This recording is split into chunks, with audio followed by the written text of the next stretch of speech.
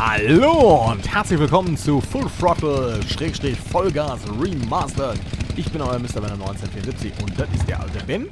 Und der alte Ben fährt jetzt nicht mit seinem Motorrad zum Turm, sondern geht zu Fuß zum Turm. Warum er das macht, verstehe ich nicht, aber vielleicht tut er auch mal was für seine Gesundheit. Mein Gott. Bauch, Bauch Beine, Po, ich habe keine Ahnung, aber macht jetzt für mich nie viel Sinn. Aber gut. So, pack das Ding mal an.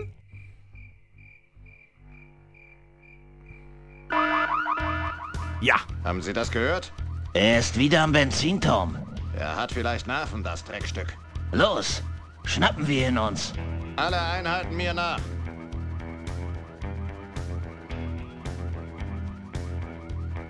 lassen sich auch Zeit. So, komm. Jetzt nimm. Ich hoffe, du fährst mit deinem Bike selber dahin. Gut, macht er. Er hat meinen Plan verstanden. Auch hier wieder Bruder von der Geburt getrennt. So. Ben, wieso bist du hinter uns? Wo sind die Krawatten? Corley macht einen Boxenstopp. Der hat eine Blase wie ein Fingerhut, Mann. Ripburger? Hab ihn eine Weile nicht mehr gesehen. Ben, wie sieht's aus, Mann? Hast du irgendwas gefunden? Kriegen wir irgendwelche Schwierigkeiten? Nein. Wir stecken drin. Steck mir den Kopf in den Eimer, denn wir sind im Whisky geschwommen. Schöner als sie, das ist keine. Sie hat mir den Atem genommen. Eines Tages, da lieg ich im Sarg. Sie ist ne Frau mit nem Rad, wie ich's mag. Komm schon, alter Mann. Hab ich dich. Mach irgendwas Kriminelles. Überfall irgendwen oder sowas. Aha, die Handlung verdichtet sich.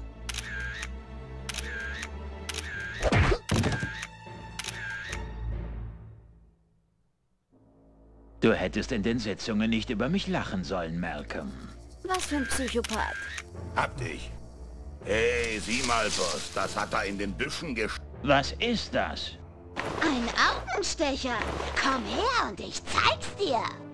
Es hat eine Kamera. Ich krieg sie.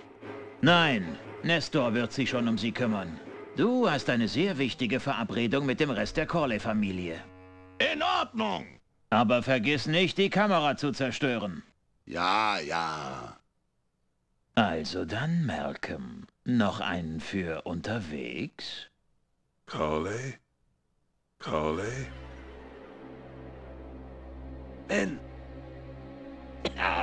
Ich schätze, Ripburger konnte nicht auf meinen natürlichen Tod warten.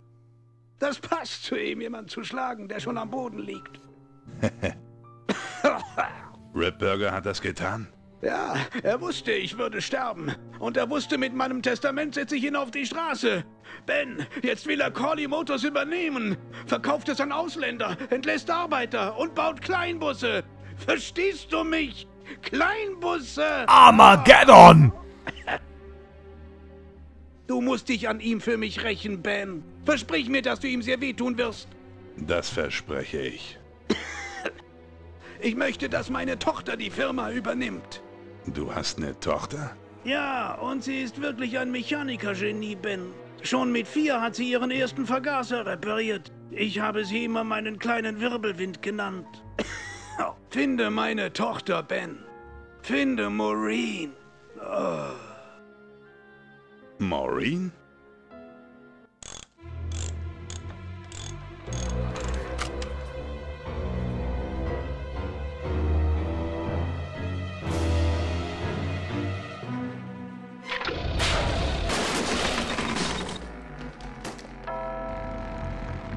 Ripburger ist ein ganzes Stück vor mir. Ich hoffe nur, Maureen kommt klar, bis ich da bin. Ich denke ja. Die Pistole verstehe ich ja noch. Warum sollte er eine Kamera mitbringen? Für wen arbeitet der Kerl? Calling Motors? Nestor, was bewegt sich denn da drüben bei diesem Haufen? Ich weiß nicht, Rip, aber ich glaube, dieser Haufen ist Bowles. Ah, ja, jetzt erinnere ich mich. Du bist der Kluge von euch beiden, nicht wahr? Da ist Moos Hütte, aber ich sehe keine Limousine. Vielleicht erwische ich die Kerle hier. Auf der anderen Seite vielleicht auch nicht. Sagen wir es ein A. Okay. Was haben sie aufgeräumt? Das ist das Bild von Mo und Onkel Pete auf seiner Nerzfarm. Sie hat gesagt, dort fährt sie immer hin, wenn sie eine Weile Ruhe brauchte. Das ist wohl meine einzige Hoffnung im Moment. Okay. Sieht aus, als wäre das hier in Eile durchsucht worden. Nichts als Trümmer, bis auf diese kaputte Kamera. Rückwand offen. Kein Film drin. Hm. Mo hat gesagt, sie hätte keine Kamera. Ja, ist das doch wohl von unserer kleinen Hobby-Spionin. Da ist nichts, was man sich angucken muss. Das ist das Schöne von den Shortkeys. Also, da ist nichts. So, dann schnappt ihr doch mal ein Bike.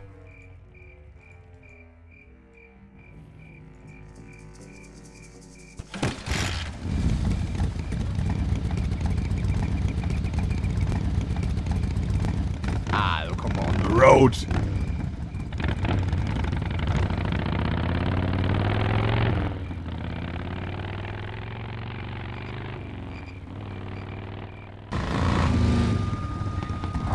Die schon wieder.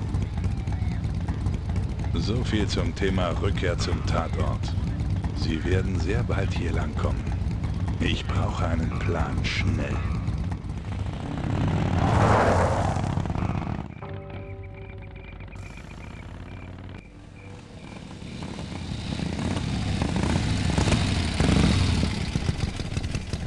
Richtung fahren?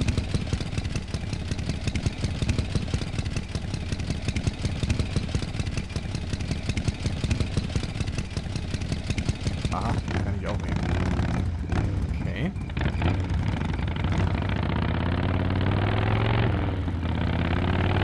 Geht's ja nach Norden.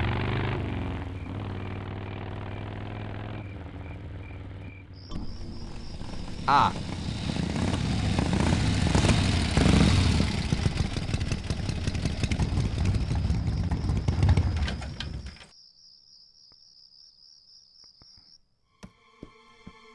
Hey, Killer. Was?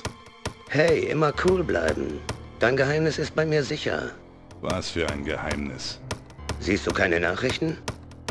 Und jetzt wieder zu unserem Top-Thema heute Abend. Malcolm Colley, der Besitzer von Colley Motors, wurde heute tot an einem Rastplatz in der Nähe von Mellonweed aufgefunden. Offenbar wurde der großherzige und sozial engagierte Firmengründer brutal und gewaltsam mit einem Stock erschlagen. Unmenschlich roh und ohne jede Gnade. Die Polizei hat eine kriminelle Motorradgang in Gewahrsam genommen, die unter dem Namen die Polecats bekannt ist. Nein. Mit Ausnahme ihres Anführers, der sich immer noch auf der Flucht befindet. Am Highway 9 wurden mehrere Straßensperren aufgestellt und die Polizei verstärkt ihre Suche nach diesem gefährlichen und skrupellosen Kriminellen. Ja, ist mal gut Wir jetzt. sind reingelegt worden. Ach, Straßensperren sind scheiße. Ich hätte die Gang nicht hier lassen sollen. Hey, davon will ich überhaupt nichts hören. Du willst mich doch nicht nachträglich zum Mitschuldigen machen. Bleib einfach ruhig, Mann. nochmal eine Lehrstunde. Lass mich mal erzählen, was passiert ist. Ich habe gesagt, ich will nichts damit zu tun haben. Ich konnte Nasenringe nie leiden. Lass mich mal erzählen, was passiert ist. Ich habe gesagt, ich will nichts damit zu tun haben. Er will da nicht hören. Was bist du denn für einer? Hammett. Er sieht nicht sehr glücklich aus. Na, es ist wohl wahr. Dann erzähl mal deine Story, Emmett. Ich kann das. Kannst du vergessen. Ich zeig dir mal, wie das geht. Kannst du vergessen. Scheinst eine Menge Zeit zu haben. Abgesehen davon, deine Hand zu durchlöchern. Störe ich dich irgendwie?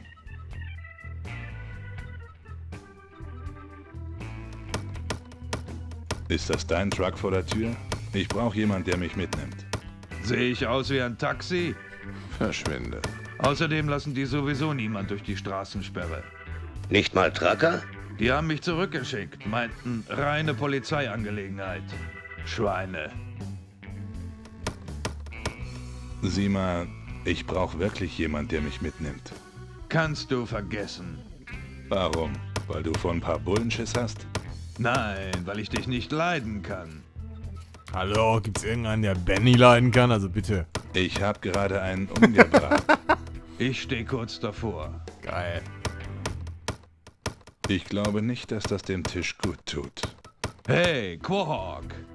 Ja, Emmett? Ich steche hier ein bisschen auf dem Tisch rum. In Ordnung? Der Kunde mit dem Messer hat immer recht. das ist auch geil. War nett mit dir zu plaudern. Nette Leute, deine Gäste. Naja, Emmett ist nicht gerade der Ich bin okay, du bist okay Typ. Oh, mach den Kopf zu, Quark. Okay, haben wir hier noch irgendwas? Ach, da können wir... Ja, dann müssen wir mit Sicherheit dahin. Hey!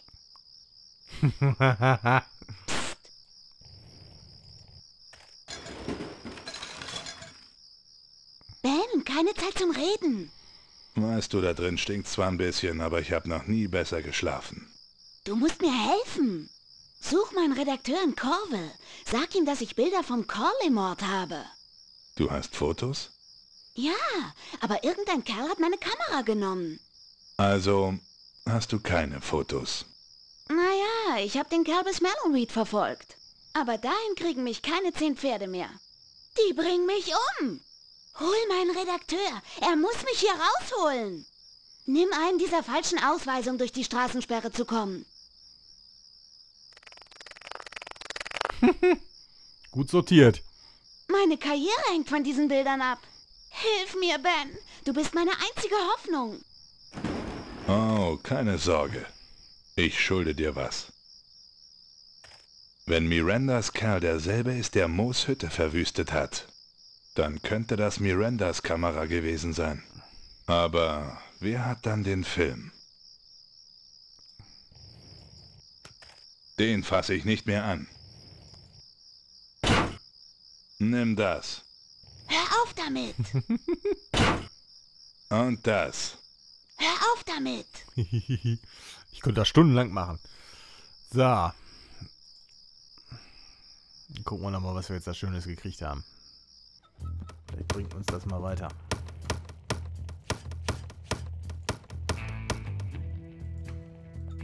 Alter.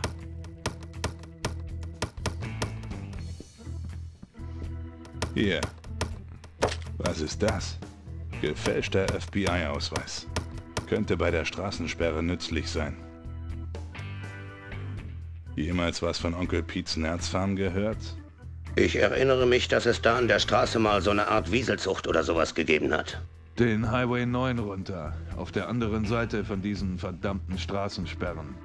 Da habe ich immer günstig Nerzfleisch gekauft, um es an Schulküchen fürs Mittagessen zu verkaufen. Diese Sache hat sich echt gelohnt. Also, nimmst du mich mit?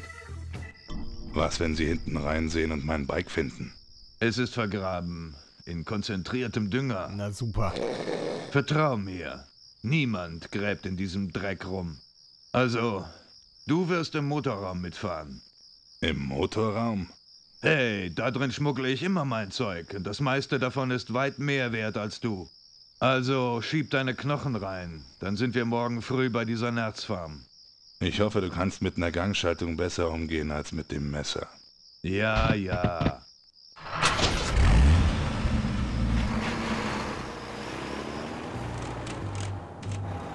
Na toll, riecht so, als hätte er ein Benzinleck. ich liebe Motorbrände. Kannst ja nochmal äh, umsiedeln und mit Bus und Bahn fahren oder so. Tut mir leid, Sir, ab hier nur noch für Polizeifahrzeuge. Ich gehöre zum FBI, Kollege. Prüfen Sie es nach. Hä? Und was tun Sie hier? Geheime landwirtschaftliche Untergrundoperation. Was haben Sie geladen? Dünger. In Ordnung, fahren Sie durch. Ich hoffe, ihr kriegt euren Mann.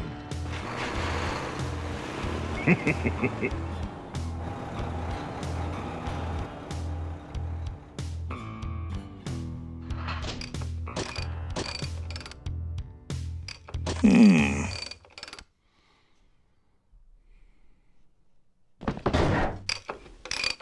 Ja, sind wir noch da.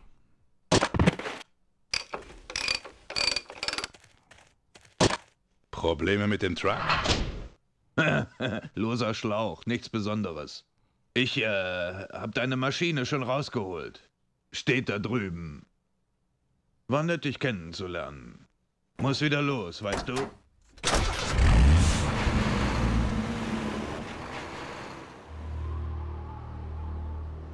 Oh oh. Die AA. Er hatte ein Benzinleck. Und zum Reparieren hat er meine Benzinleitung genommen. Arschloch. Dafür bringe ich diesen Trucker um.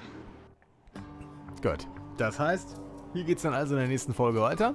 Ich bin euer Mr. Venom 1970. Das ist Ben von Full Throttle Vollgas Remastered. Und ich kann es schon mal sagen, für die Leute, die mal so wissen wollen, ich weiß ja ungefähr, wie lang das Ding ist. Also wir haben schon, ich würde sagen, ein Drittel? Also nur damit ihr mal seht, das ist nicht wirklich lang, das Ding. Aber egal. Atmo hat's immer noch und äh, ich freue mich schon auf die Highway-Prügelei. Wer die noch in Erinnerung hat, also wir müssen tatsächlich nachher gegen die ganzen Gangs antreten und uns bewaffnen und so schöne Sachen. Naja, Tim Schäfer und seine Actionsequenzen, ihr kennt das. Egal, ich bin euer Mr. Venom 1970, sehen wir uns beim nächsten Mal wieder. Bis dann. Tschüss. Medal!